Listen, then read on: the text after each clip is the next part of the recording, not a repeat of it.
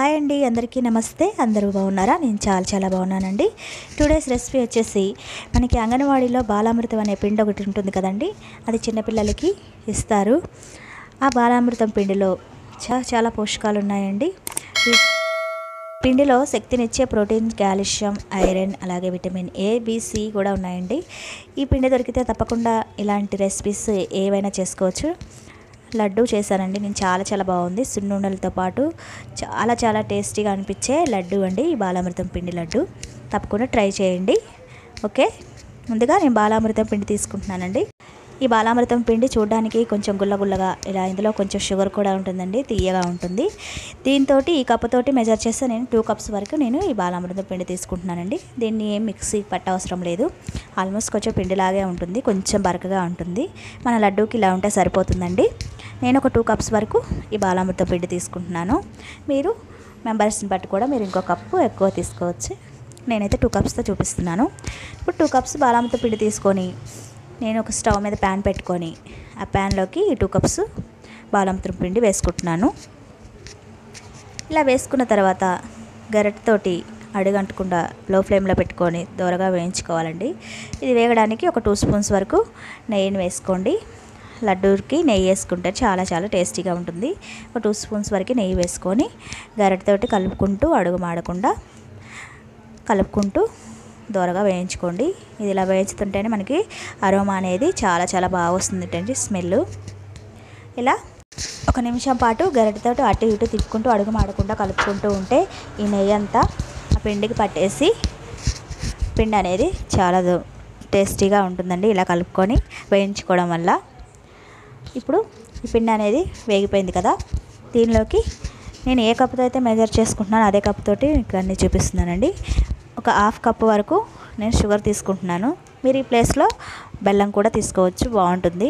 నేను అరకప్పు వరకైనా తీసుకుంటున్నానంటే మనకి ఆల్రెడీ బాలమృతం పిండిలో మనకి షుగర్ యాడ్ ఉంటుంది కాబట్టి నేను అరకప్పు వరకు షుగర్ తీసుకుంటున్నాను. ఇప్పుడు దీన్ని కూడా ఈ పిండిలో బాగా కలిసేలాగా కలుపుకోవాలి.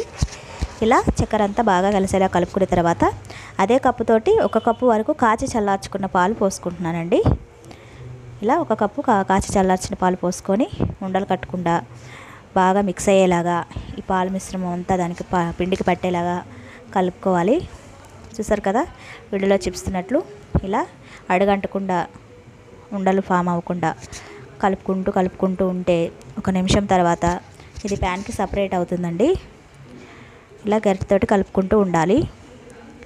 లేకపోతే అడుగు మాడుతుంది. చూసారు కదా ఒక నిమిషం కలుపుతూ కలుపుతూ ఉంటే మనకి ప్యాన్కి అనేది సపరేట్గా వస్తుంది ఇలా. ఇప్పుడు చూసారు కదా ఈ స్టేజ్లో మనం స్టవ్ ఆఫ్ చేసేసుకోవాలండి. అంతే స్టవ్ ఆఫ్ చేసేసి దీన్ని పక్కన పెట్టేసి కొంచెంసేపు చల్లారనిచ్చుకోవాలి. చూసారు కదా ఉండలాగా ఎలా ఫామ్ అయిందో. ఇప్పుడు దీన్ని పక్కన పెట్టేసుకోండి. చూసారు కదా ఉండలాగా చేతికి తీసుకుంటుంటే ఇలా రావాలి. ఇలా వచ్చినట్టయితే మనకి పర్ఫెక్ట్ స్ట్రక్చర్ వచ్చినట్టే. దీన్ని పక్కన పెట్టేసేసుకొని చల్లార్చుకుందాం.